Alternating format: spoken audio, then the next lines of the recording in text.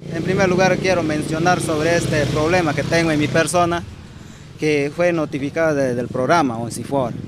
Sin duda, todo es todo por la falsificación de firmas que el señor han ocupado de, este, de la ciudad, ¿no? Es empresarios que han trabajado.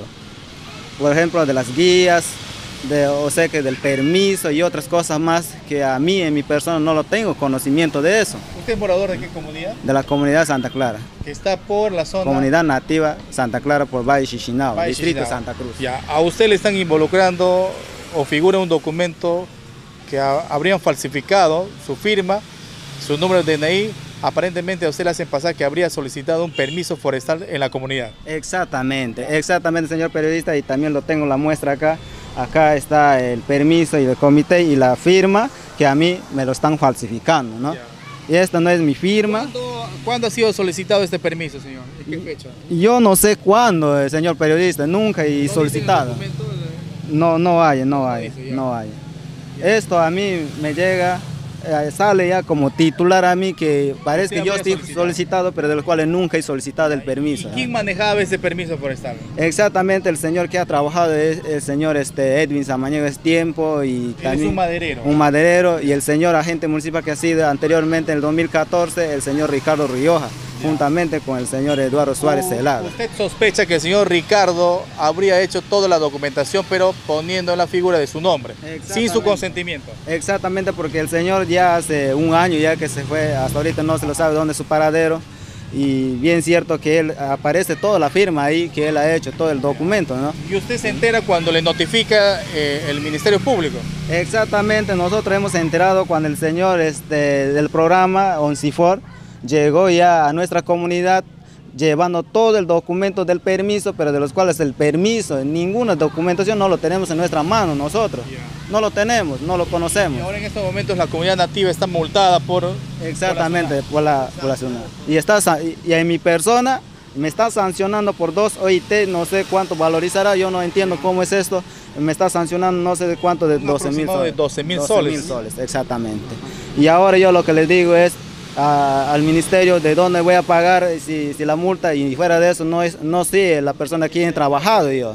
¿El pueblo está informado de lo que está pasando, señor? ¿Sabe el pueblo? Exactamente, yo, exactamente cuando el, programa se fue allá, estábamos informados de tal, tal día, tal fecha, ya el permiso ha salido de los cuales no tenemos ningún documento en la mano nosotros. También está haciendo una denuncia ante el Ministerio Público por lo que está sucediendo. Exactamente, exactamente, ya varias veces nos estamos presentando a la Fiscalía y ahora nuevamente me pongo allá al descargo de todo esto porque recién he encontrado ahí en la oficina de ARA todos los permisos ya falsificados de mi firma. ¿Usted nunca ha firmado? Nunca he firmado.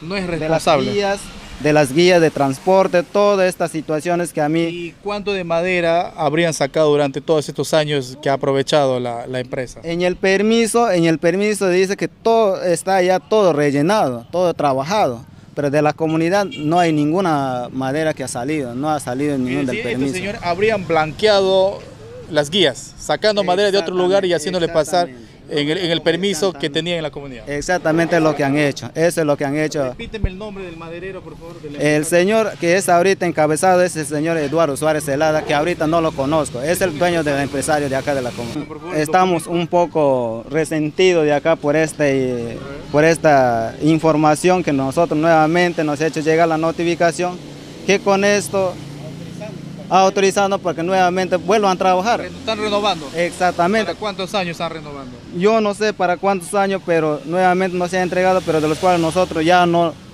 queremos meter más ya en ese problema. ¿Qué es lo que van a hacer ustedes? ¿Van a ir al pueblo? ¿Van a, llamar a una asamblea? Nosotros vamos a ir al pueblo, vamos a hacer una asamblea general con todos los moradores de, de mi comunidad para poder hacer un, este, un, memorial. y luego estar emitiendo a la agencia agraria. Para dejar sin efecto, anular todo, Exactamente, ya, ya no queremos tener más problemas, más bien dejar todo anular de esto.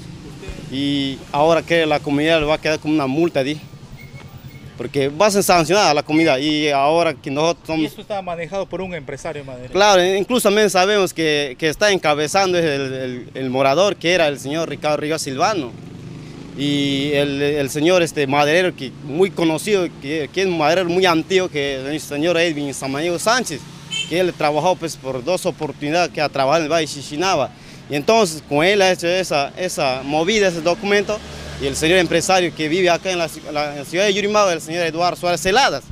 Entonces, ellos han hecho ese documento, pero, en fin, en fin, porque el del permiso que ha salido la comunidad no, no ha solicitado el permiso del bosque local. Van a hacer anular ese documento. Claro, en señor periodista, para este, detallar este, porque el permiso y el, y del bosque local, no la guía no lo tenemos en manos de las autoridades. ¿Y nunca, sacaron madera de la comunidad? No, nunca, señor. Sacaron de otro lugar, de otro lugar lo hicieron pasar con el documento. El nombre de la comunidad Santa Clara que, que está saliendo de ahí ni la comunidad no se va a beneficiar ni un solo señor periodista. Mucho mejor si, la comunidad beneficiaría y vendiera la madera, entonces ah, la comunidad nunca va a beneficiar de, de beneficio a, los moradores. Entonces venimos acá, recorrimos acá, acompañé yo como teniente gobernador de la comunidad, acá acompañé como titular que él le estaban involucrando como, como titular que él a sacar madera.